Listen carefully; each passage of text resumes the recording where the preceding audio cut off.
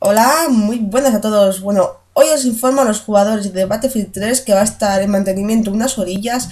Y bueno, hoy 29 de mayo de 11 la, de la mañana a 4 de la tarde no tendremos disponible el multijugador de Battlefield 3.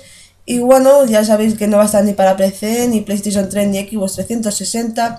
Y avisarán por páginas oficiales de Twitter y Facebook cuando os acabe este mantenimiento.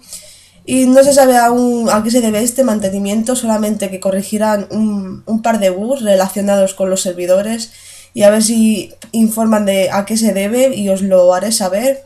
Y bueno, pues nada, eh, esto es todo por hoy. Muchísimas gracias. Hasta la próxima.